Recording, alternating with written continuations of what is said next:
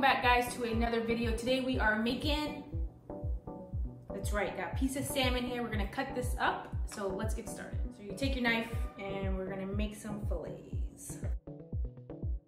Now this salmon has no skin on it because what we're making would not do good if it had skin on the bottom. All right, so just so you guys know, I've never made this recipe before, so this is a new one for me, but we're gonna do it together. So first we're gonna take some salt to season, some pepper.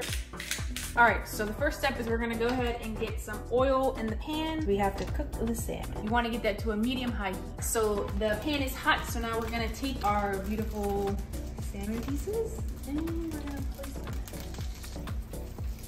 so you let those cook for about three to four minutes on each side. You can watch here. As you can see here, it's starting to cook. So as you see it gets halfway up into the salmon, then you wanna flip it. Salmon is really easy to dry out and it's not very good when people dry it out. I can't stand it dry, so you wanna make sure you cook it just perfecto. All right, so as you can see here, it's kind of cooked, so we're gonna go ahead and flip it and then just let those cook for a little bit. I want to give a huge shout out. Had a little giveaway and this was the winner.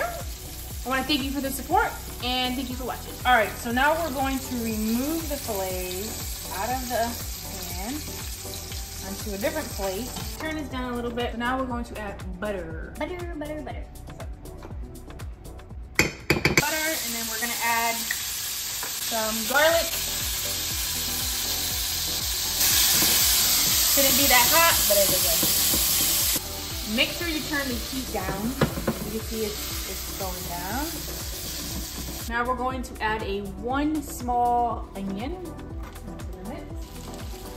I want to cook these to they're translucent, and what that means is they're kind of see-through-ish. You know, they're not super hard. So now you're going to add some sun-dried tomatoes. You can use regular tomatoes, but I'm gonna use canned sun-dried tomatoes. You're gonna cook these for about one to two minutes so they can release the flavor. And make sure you drain the oil. You do canned now we are going to add one third cup of vegetable broth into it. Gonna let that simmer. It smells amazing.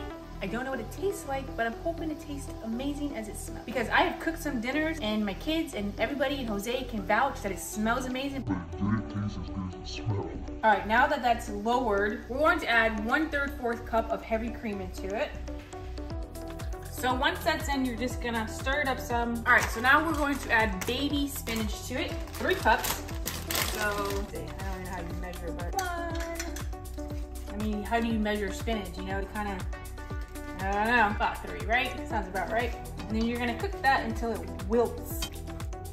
Now we just let that cook. Yeah, so as you can see, I don't know what I'm doing. So I have my computer here and I have the recipe here. So that's what I'm following because I never cooked it. And I will be doing a new recipe. Um, I wanna say next week I had a fan send me her recipe and I'm going to try it. So if you want me to try your recipe, put it down in the comments or send me an email or uh, inbox on my social media and I will try your recipe.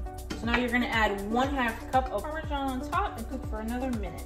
So now you're going to take your salmon and you're gonna add it back into the pan like that. Put some on top so you can get the flavor. And dinner is done. Now you can have this like this. You can make rice, you can make vegetables, you can make pasta, you can do whatever your heart desires. And look at this beautiful masterpiece. Salmon looks amazing, sauce looks amazing. Now we just gotta plate it and we're gonna try it and see what it tastes like our salmon. We want some extra spinach on the bottom. You know, as a chef, you would wipe around the sides, right? And you plate it much differently. But we're gonna go ahead and try it. This was Gordon Ramsay. She'll be thrown out. You ain't lying. For that plate. Look at that. Look at that drip. Look at that drip. All right, bon appetit.